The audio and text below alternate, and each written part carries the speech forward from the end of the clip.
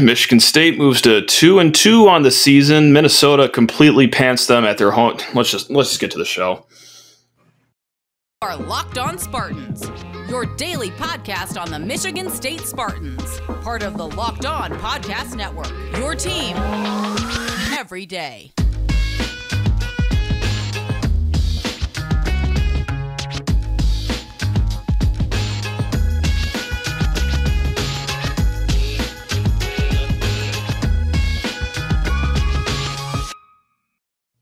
Hey, Spartan friends, Spartan family, um, even the haters. I know you guys are here. Why wouldn't you be here? The team that you can't beat for the last two years, and the coach that has owned you in his short tenure uh, looks like a JV team. I- I'd be here too if I was in your situation. Anyway, welcome to Locked on Spartans. That's right, your team every single day. And hey, first and foremost, I would like to thank LinkedIn Jobs for being the official college football recruiting sponsor across the Locked On College Network. LinkedIn Jobs helps you find the candidates you want to talk to faster. Post your job for free at linkedin.com slash locked on college. Terms and conditions apply. That's right, Scottie Hazelton. LinkedIn might be helping you at your next stop. Who's to say where that's going to be? Maybe not even a football field. Anyway, uh, we got a lot to talk about on today's show.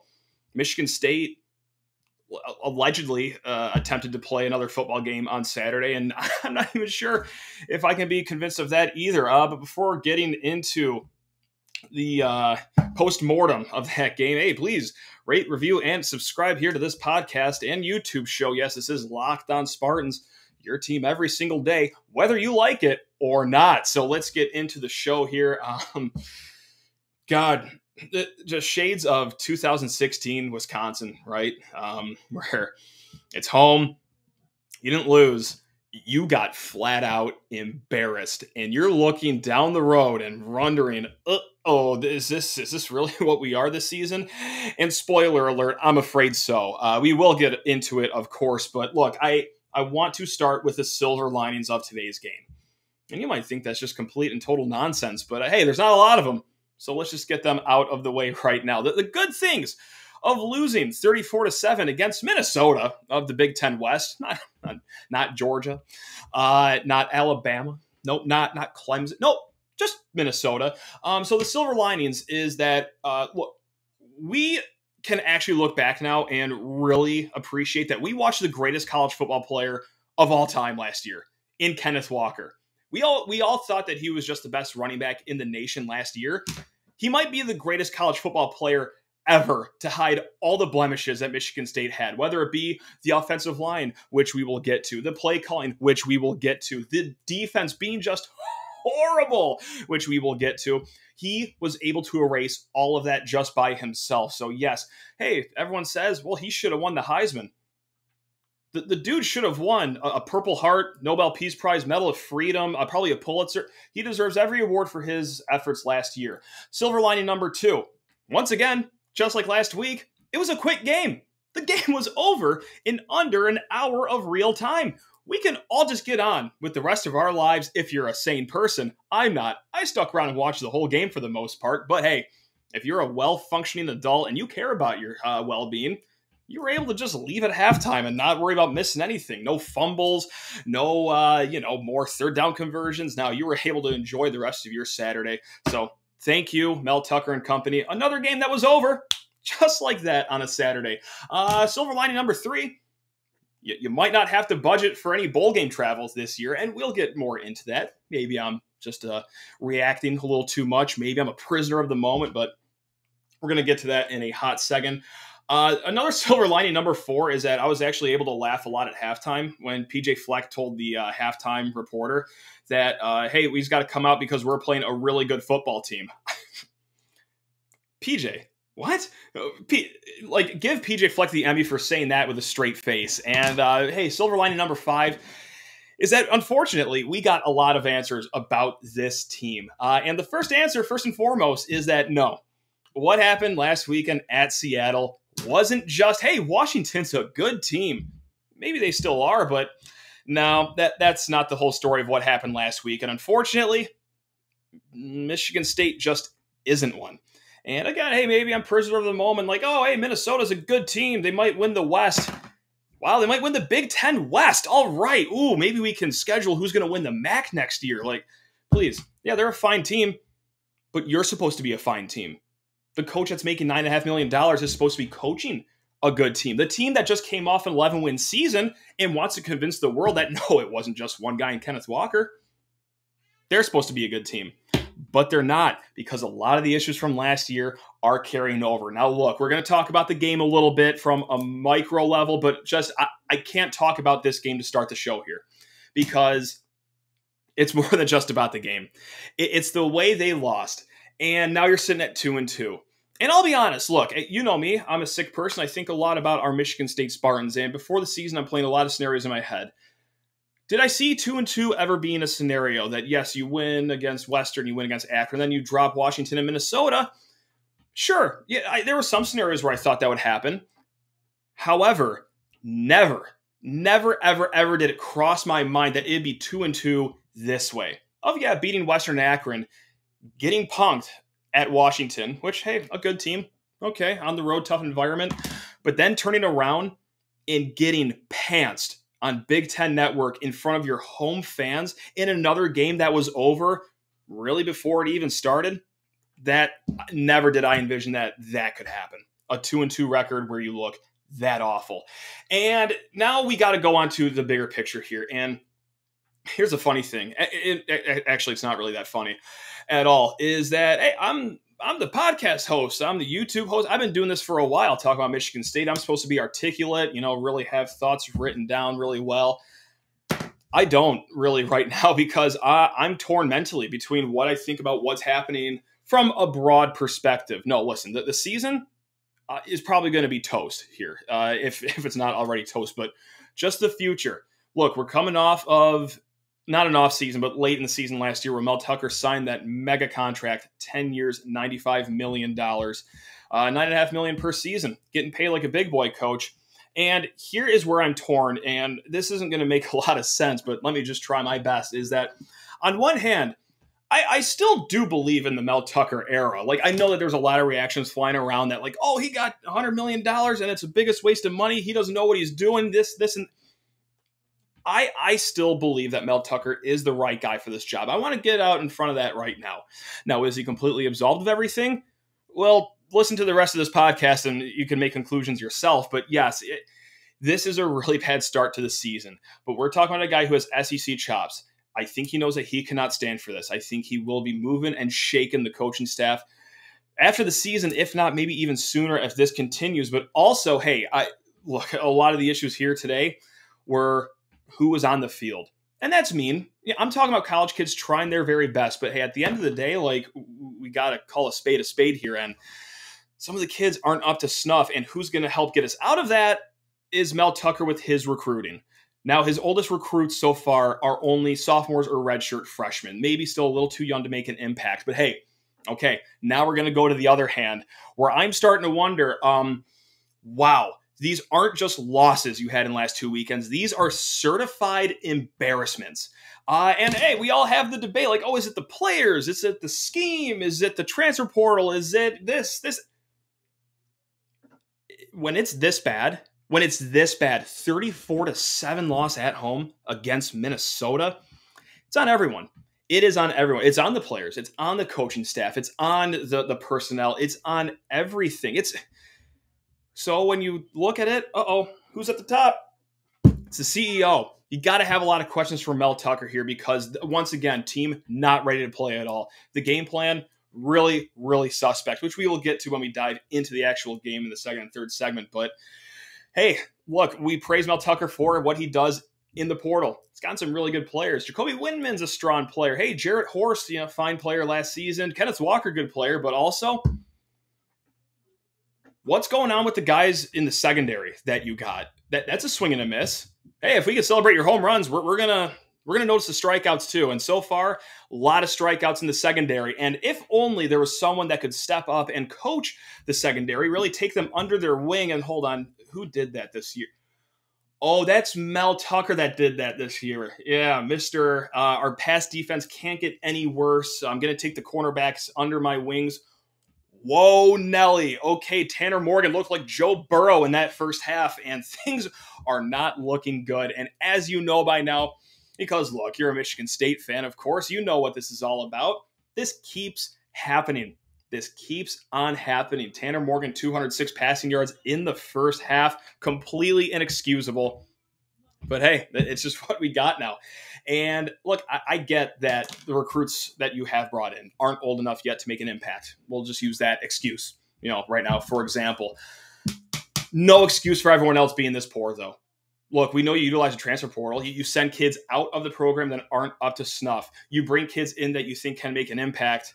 This is really bad, though. This is really very, very, very bad that the secondary still looks this atrocious. After all those fun offseason quotes of, hey, it can't get any worse, Oh, I think that it actually can get uh, a little worse here. So, uh, hey, again, I believe in the Mel Tucker era. I think that, well, yeah, recruiting is going to be the only way that Michigan State can get themselves out of this hole right now. So it's going to take some patience here. But also, yeah, coaching in game before the game, just the preparation.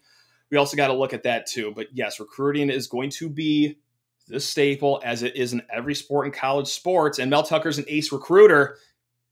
Let's see how much of an ace recruiter though, because he might have to be recruiting off of a season that ends in a five and seven record, a six and six record, maybe even a seven and five record if you're feeling yourselves. You know, go to the Duke's Mayo Bowl. But we'll get to that in a hot second. I just need to talk your ear off about Scottie Hazelton's future website. He will be hitting hard, and that is LinkedIn.com. That's right, folks. LinkedIn. We already know what the wonderful folks at LinkedIn can do. They can place anyone in any job, just like your company. These days, every new potential hire can feel like a high stakes wager for your small business. You want to be 100% certain that you have access to the best qualified candidates available, and that is why you have to check out LinkedIn Jobs.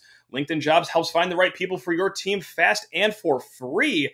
That's right. So, add your job, add the purple hashtag hiring frame to your LinkedIn profile so that everyone knows that you are indeed hiring. That simple. It really is. It's great. Lockdown, or, sorry, LinkedIn makes everything so easy. Like their screening questions, they make it easy to focus on candidates with just the right skills and experience so that you can quickly prioritize who you'd like to interview and hire.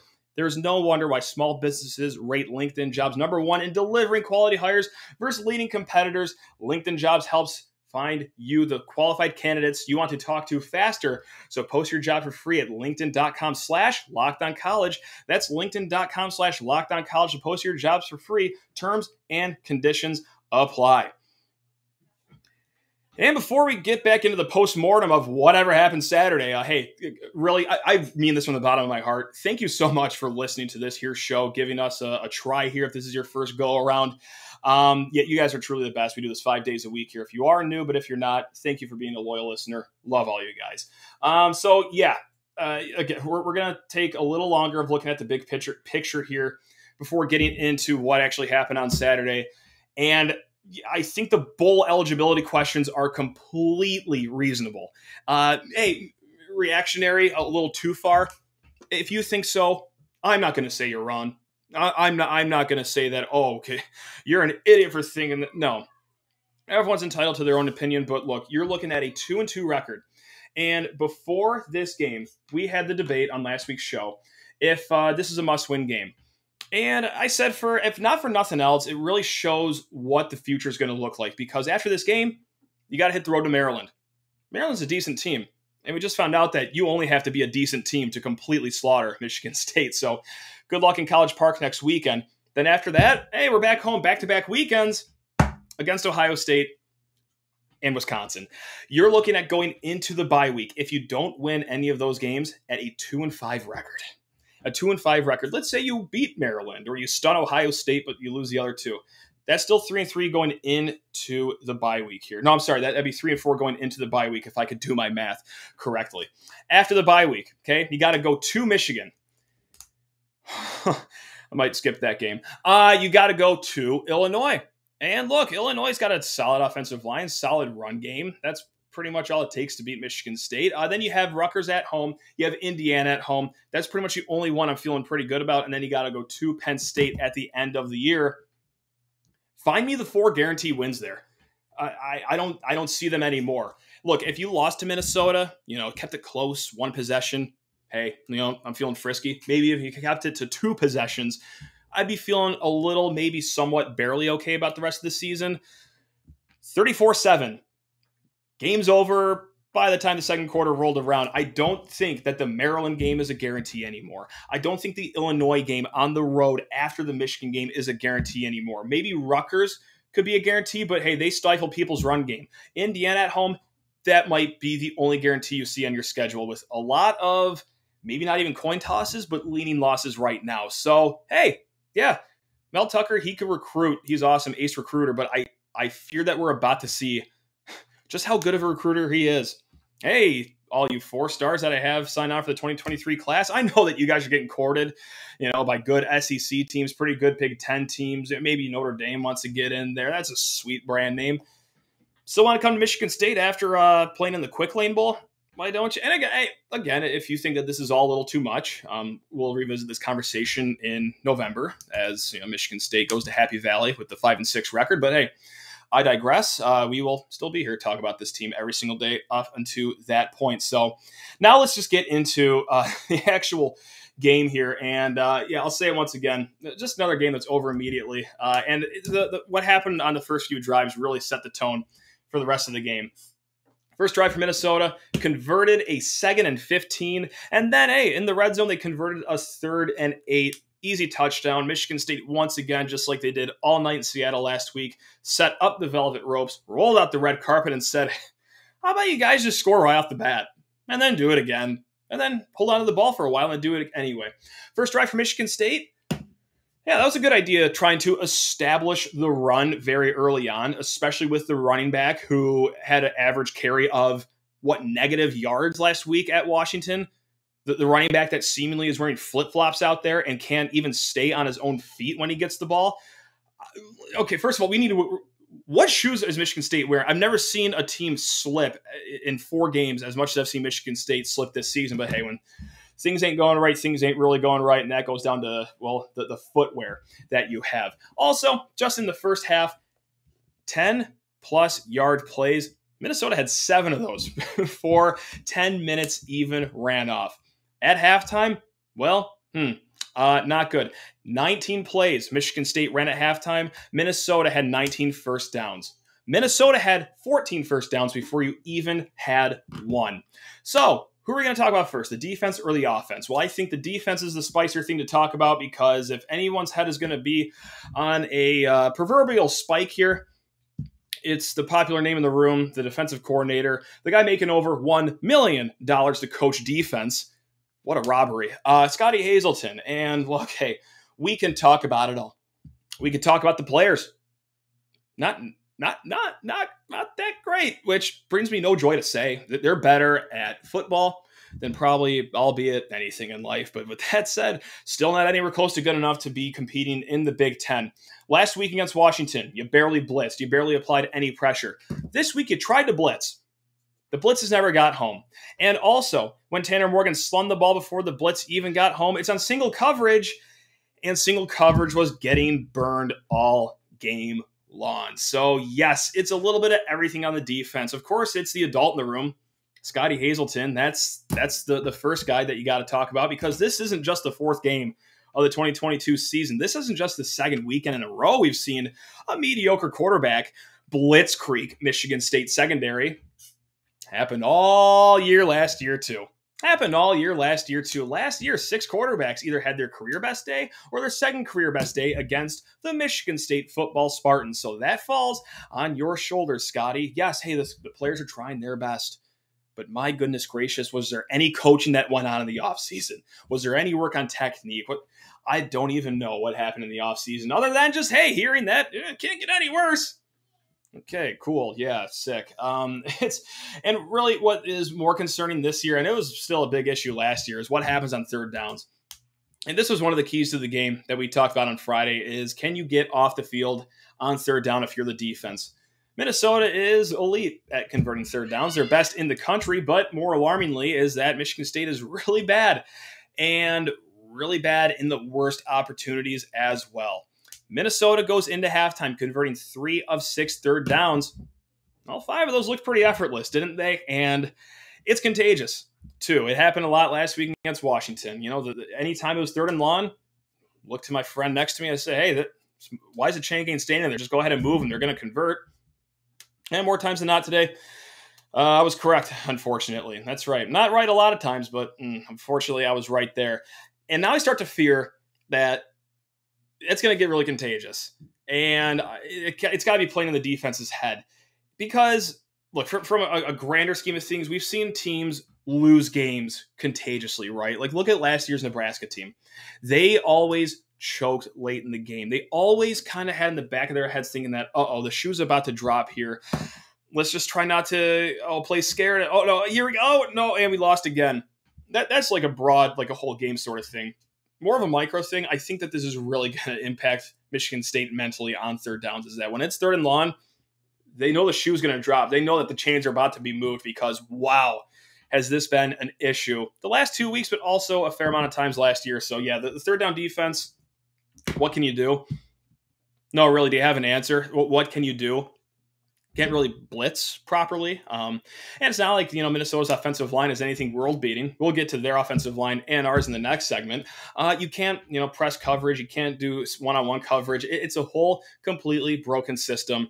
And when it's that broken, yeah, the adults in the room, the ones making pretty good money, like some of the best in the country money, can't be coaching one of the worst pass defenses in the country for the second season in a row. But that's where we are. And uh, how does it get fixed?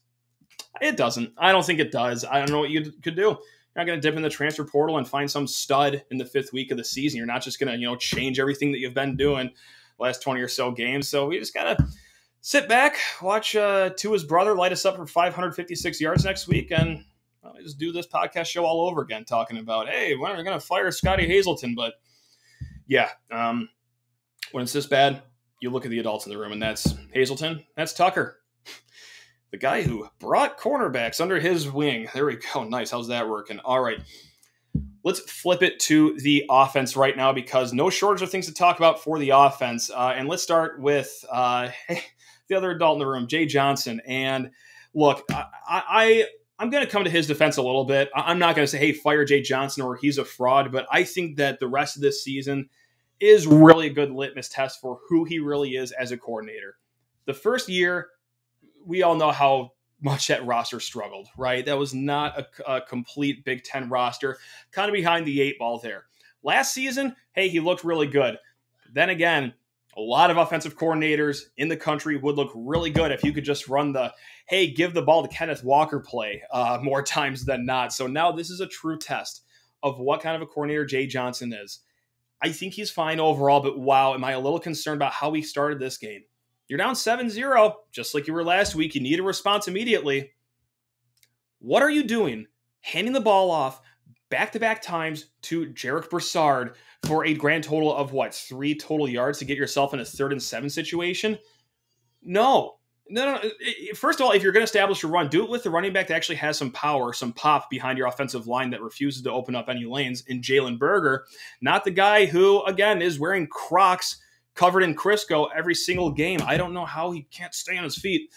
Anyway, so there we have it. Is just the way you started the game, and I get you want to establish the run because hey, Payton Thorne works really well in the play action. You want to get something there. You want Minnesota to think that a run's coming, but you can't. You can't because the offensive line, unfortunately, isn't up to snuff. And this is where the conversation now goes. Don't worry. Hey, I know that a lot of you are thinking, when is he going to start talking about his boy, Payton Thorne? And we'll get to that at the end of the show. But right now, for the second week in a row, the offensive line looked not good at all against a Power Five team. 2.7 yards per carry for Michigan State this week. Never got off the ground. And it really hurts when, again, for the second weekend in a row, you look at the other team's offensive line, and Minnesota replaced four starters from last year. Washington last week had to replace, I think it was three, if not maybe even four starters from last year, and they look just fine compared to yours. And again, we're going to talk to the ADULTS in the room, the adults in the room, and that is another coach making more than one million United States dollars. Uh, that's not that's not a good look. And here's the thing we talked up and down this offseason about the offensive line, how that's going to be a major concern going into the year but not the starters. We talked about the concern being the depth behind the starters. If someone gets hurt, if two people get hurt, which seems to happen a lot in East Lansing, that what's gonna what's the depth gonna be looking like behind those starters? Because hey, we feel fine about the starters. Wow, was that wrong? Because this is the starting group. You don't have like every other position group on the field. You don't have the excuse of injuries to hide behind here. There's no reason the offensive line should be this bad. Now, am I going to say, hey, fire uh, Chris Kapilovic? He, he's a trash offensive line coach. I'm not going to go that far because, hey, he also recruits his ass off. Like, look at Michigan State's recruiting for the offensive line coming in. Hope you can keep those guys as you go to a six and six record, most likely. But hey, at the end of the day, I don't think it's unfair to ask for more from the offensive line. And again, they, these kids are working their you know what's off. I, when it's this bad, though, you you have to look at the coaching staff, and I don't think that's necessarily completely unfair. Hey, it's not like he's making a half million dollars, you know, just you know, middling, uh, FCS type money. No, he's one of the few. I think it's like less than a dozen, maybe a little over a dozen non-coordinator coaches that make over a million dollars a year I don't think that's unfair to ask a little more than just to, hey, have your unit open up a run lane or two uh, for your guys. Maybe protect your quarterback a little bit, but there we have it. And let's get to that quarterback right now because, hey, uh, you guys, if you listen to this podcast, know me. I am, uh, I'm a huge Payton Thorne guy. Big Payton. Th- I'm the conductor of the Payton Thorne hype train. And let me tell you, uh, tracks ran out today. And at the other side of those tracks um, is a cliff that I still haven't hit the bottom of yet because wow, wow. Um, again, these kids are trying so hard. You got to give nothing but respect to these kids. Uh, there's they're, they're students too. You know, uh, they're balancing football work, weight training, the stress, the pressure that they have along with schoolwork. These are hardworking kids. But with that said, okay, um, I'm starting to get a little worried about Payton Thorne, and maybe the hype train is coming to a slow right now. That was as bad of a game as you could really ask for him. Uh, the interception in the first half on fourth down, a fourth down, I think he could actually just scampered out of the pocket and gotten the three yards that he needed for the first down. Yeah, that was not good. Uh, he also, hey, Michigan State did one good thing in the first half, and that was force a turnover on a fumble. How do you take advantage of it, offense? Okay, you you you sail it over your number one target's head, uh, Jayden Reed. Who, hey, thanks for coming back, Jayden Reed. Um, sailed it over his head. Easy touchdown, pitch and catch. Hey, these guys are high school teammates, their best friend. Completely airmail it over him. That cannot happen. And then, yes, also, it's third and 10, and we're throwing three yard hitch routes. I get it. Minnesota rushed three. You know, they, they had eight people in coverage. You're down 17 points sling the rock downfield. What do you think a three yard pickup is going to do on third and 10? It brings the punt unit on the field. I'll just tell you what it does. It brings the punt unit on the field. And then the fumble in the second half. I don't have to tell you this. That that's inexcusable. That's unacceptable. But hey, here's another secret too. Didn't matter. The game was already out of reach at that point uh, because uh, Michigan State's defense couldn't stop anyone. The offense couldn't get going, and now, well, oh, hold it. Oh, excuse. Oh, what do you mean, Matt? The offense couldn't get going. Noah Kim scored a touchdown at the end. He's your new starting quarterback. I think I'm going to be in the minority here. And maybe this is delusional. If you think that Noah Kim should be the starting quarterback, I, I would be an idiot to tell you that you're wrong. I would be a clown, a clown to argue against that and say, no, you're being irrational. That's fair because it has been four games this year Payton has struggled in three of those games, and ironically enough, all three have been at home. Like, he just can't get comfortable in his home barn. But I still, for at least one more game, think that Payton Thorne should be the starting quarterback. And that might sound ridiculous. Maybe I'm just a little too high. Maybe I'm just holding on to my Payton Thorne stock a little too tight. And uh, I just have, you know, an attachment problem and I just don't want to let go. But he got it done last year for the most part. More times than not, he was a fine player. I know that he does have the weight of the world on his shoulders this year, but now we got to start to think can he get that out of his head? Because that's probably affecting his play right now. I'm going to give the smart quarterback, the guy who's cerebral, you know, the, the leader of this team. He, he was a captain yesterday or today, whenever you're watching the show. I want to give him Uh, one more shot here, and if things go really bad in College Park, okay, majority, I, I might start to creep to your side of Noah Kim might be him.